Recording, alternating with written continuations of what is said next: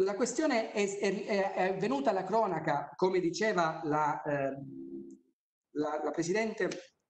la Presidente Terracchiani perché eh, sono venute eh, sugli organi di stampa notizie che non certo sono state diffuse dall'Istituto. Mando, e qui mi permetto una, una, una chiosa personale, Presidente, eh, rimando a tutti i mittenti le accuse verso il sottoscritto, verso l'istituto di un'azione manipolata, architettata, l'azione da parte delle strutture, delle tecnostrutture che è indipendente e autonoma rispetto al sottoscritto, è stata egregia insieme a quella di tutte e 30.000 dipendenti dell'istituto che in questo periodo hanno dato lacrime e sangue per mettersi a servizio del paese e pagare tutto ciò che c'era da pagare perché il paese lo richiedeva.